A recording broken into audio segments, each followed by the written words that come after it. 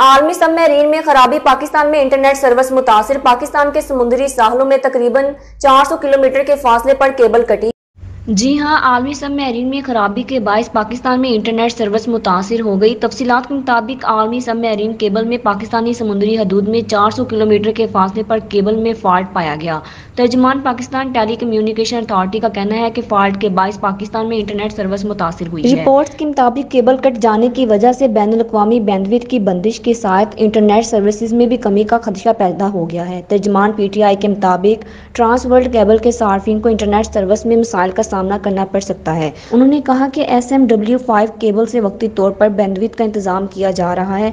समुद्र में फॉल्ट की असल वजह, जगह का तयन किया जा रहा है। वाजह रहे की गुजशत माह भी पाकिस्तान में submarine cable S M W four में खराबी हुई थी, जिसकी पाकिस्तान टेली कम्युनिकेशन अथॉरिटी ने भी तस्दीक की थी। बहरे